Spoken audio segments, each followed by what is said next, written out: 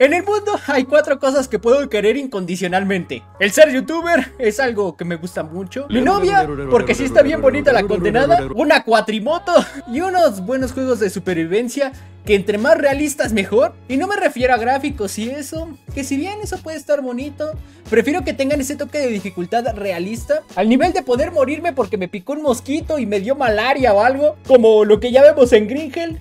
Pero de él vamos a hablar en otro video. ¿Alguna vez te preguntaste cómo cuánto durarías en una situación así? ¿Tú solito contra toda una ciudad de zombies? Bueno, pues Project Zomboid tiene tu respuesta. La respuesta corta, no durarías más de una hora acá. Pero vamos desglosando este juego. El por qué es tan bueno. Este juego inicia soltándonos en medio de una ciudad ya bien madreada por una infección zombie, en la que parece que somos el único sobreviviente. Al inicio del juego no entiendes muy bien qué pasa, pero no te preocupes, porque tampoco al final sabes. Tienes que recolectar recursos y equiparte con todo lo que puedas. Lo más importante por conseguir es comida, agua, y ropa que te cubra todo el cuerpo, porque es una de las cosas más útiles en este jueguito. La mayoría de juegos están catalogados como juegos de supervivencia, pero de aventura, en donde tienes que explorar y pelear con enemigos, pues esa es la base de la diversión. Pero acá es un juego de supervivencia, pero de verdad de supervivencia, en donde vas a evitar lo que más puedas a los enemigos, hacer ruido, hasta por lootear de más, te puede costar toda tu partida el chistecito. Si bien el gameplay nos da a entender que no vamos a tener interacción con otro ser humano en este juego, pues esta ciudad es una de las más vivas que he sentido desde que iniciamos la partida.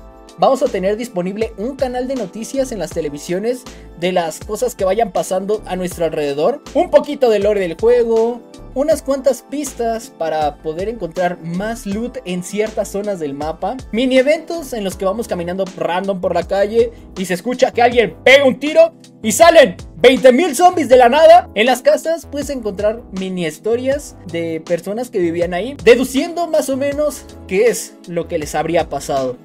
Bien, en este juego te deja claro mil veces que tú no eres el prota de esta historia y que solo eres otro más que intentó sobrevivir. Porque sí, desde el inicio te dejan claro que no vas a salir con vida de acá. Y solo esta ciudad pasan sus días independientemente de lo que tú puedas hacer. Una de las cosas que más me agrada en este juego, de las cosas que hacen sentido al realismo, es los eventos que te van a ir sucediendo conforme pasan los días. Una de las primeras cosas que te pueden pasar es del sexto al noveno. Puede que en una mañana despiertes y escuches que hay un helicóptero sobrevolando la ciudad y casualmente siempre va a estar encima de ti. Y como podrás deducir, entre más ruido haya, más atraes a los zombies. Entonces vas a tener de dos sopas. O te quedas refugiado en una casa rogando porque los zombies no puedan entrar, que parece fácil pero si no sabes cómo tapar las ventanas, esa casa en la que estás va a parecer coladera con todo lo que te puede entrar. Y la otra opción es estar huyendo de todos los zombies, pero en carro.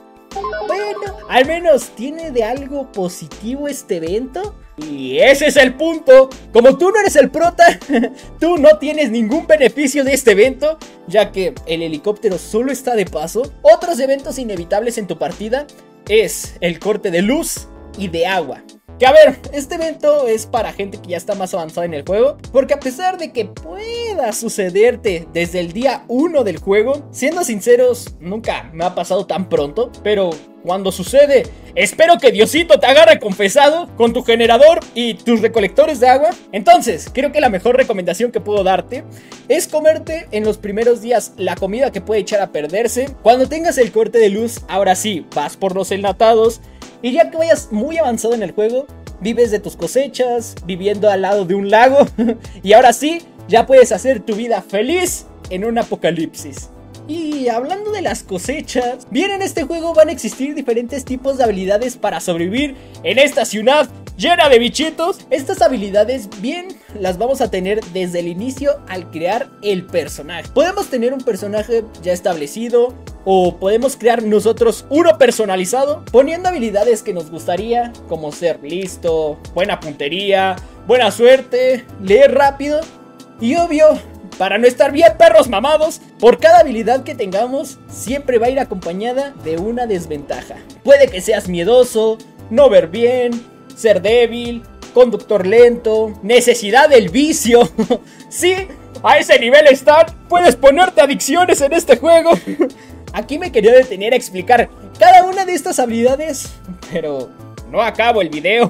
Una vez creado este personaje y estando dentro del mapita, van a existir diferentes herramientas para ayudarnos a mejorar nuestro personaje. Desde poder leer cierto tipo de libros para subir una habilidad en específico o poner en práctica esta habilidad para poder ganar experiencia en ella. Entonces, creo que el juego te da bastantes herramientas para sobrevivir, pero la dificultad en este es que necesitas de todas ellas para poder sobrevivir. Si eres nuevo en este juego, olvídalo. Vas a morir como 40 veces antes de entenderlo.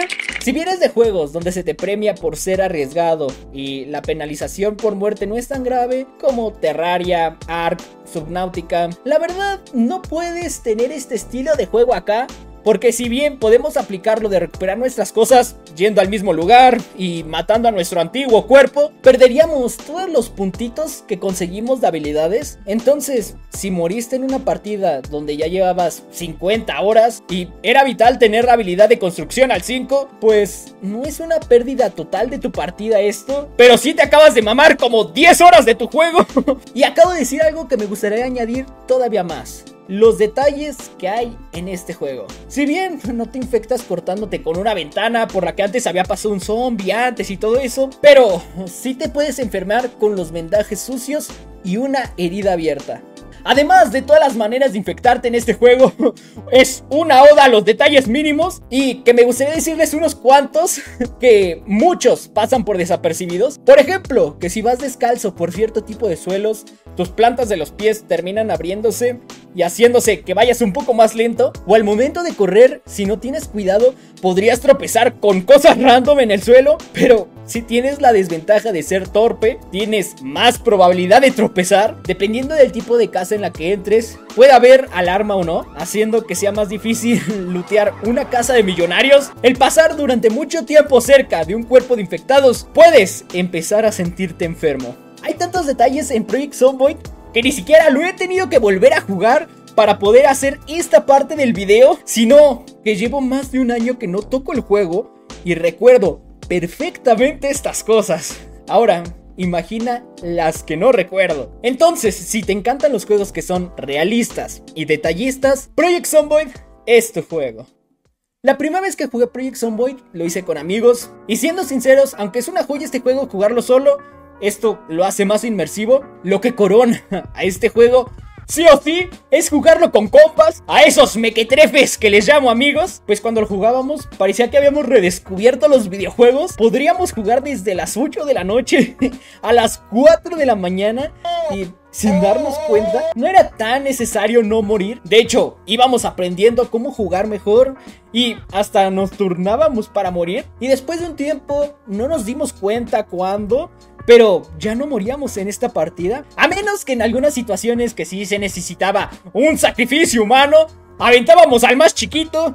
Porque aparte de chiquito, está bien pendejo. Hasta tuvimos nuestro propio refugio autosustentable de comida y electricidad y cada uno de nosotros se enfocaba en lo que más le llamaba la atención del juego. Uno estaba aprendiendo lo que era cocinar, otro estaba aprendiendo a construir. Lo que más me llamó a mí la atención era las modificaciones de los autos que si se dan un chance de conocerlas, todo esto parece otro juego. Al final creo que en ese punto el juego se estaba haciendo un poco repetitivo y lo terminamos dejando. Pero este tema de lo repetitivo lo voy a tocar al final, ya que esto no debería de preocuparte por ahora. Mi sincera experiencia al iniciar es que me la pasé como niño jugando esto. La curva de aprendizaje en mi caso se volvió bastante agradable. Aprendí algo y activaba mi modo chango que traigo. Y a las pocas semanas pude volverme un jugador, si no es que, bueno, por lo menos lo suficientemente capaz de ya no morir en el inicio del juego. Project Zomboid, si bien es un juego entretenido, también lo pondría en la categoría de experiencias como ciertos juegos. Ahí tienen el Outer Wild, el Stardew Valley, Stray. Si bien son entretenidos al jugarlos, también estos te dejan como algo más en tu cuerpo. Siento que te da la libertad de tener tu propia película en la cabeza, poder hacer tu propia historia y finalizarla de la manera que quieras, viviendo una vida tranquilo y estable, o tal vez haciendo una hazaña muy grande o intentando escapar de una horda enorme. Muy pocos juegos siento que valen la pena de tomarlos en serio. Precisamente por eso, porque son juegos y la experimentación es algo divertido. Pero creo que este juego, la manera de exprimirle mucho más el jugo es cuán serio te lo tomes e intentes sobrevivir como si tu vida dependiera de ello. Y lo mejor es que ni siquiera está en su versión final esta obra de arte. Y ahora, como dije, este juego siento que sí tiene un punto final y no es como me gustaría. Porque en sí Project Zomboid no tiene un final, no es como que después de un cierto tiempo te rescaten o llegando a algún lugar se considere el final, ni siquiera un jefe final. La mayoría de juegos survival, por muy largos que parezcan, pues sí llegan a tener un cierto final, con una pelea de algún jefe o cumpliendo un cierto objetivo, pero que en este juego mm, no lo tenga, pues la verdad sí logro entender por qué no existe. Y hasta suena medio poético que tengas que hacer tu propio final. Pero para mí y muchísima gente que nos da ansiedad que no podamos tenerle un cierre al juego, me hace estar enojado. Me gustaría que existiera un tipo de evento en el que este marque, mira, aquí es el final que nos gustaría proponer, pero si quieres seguir jugando, lo aceptamos.